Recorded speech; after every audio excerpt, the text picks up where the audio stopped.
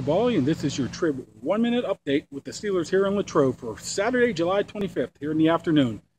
Steelers need to arrive here at St. Vincent College by 4 p.m., and some are trickling in as we speak.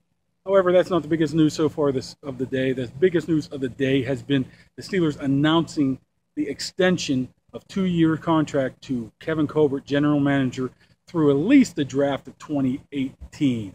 This is on the heels of Mike Tomlin also getting a contract extension on Thursday through the 2018. Many of players who already arrived here today talked about liking the stability of the organization, and this proves that even more. Stay tuned here for more updates here on the Trib One Minute Update. This is Mark Kaboly.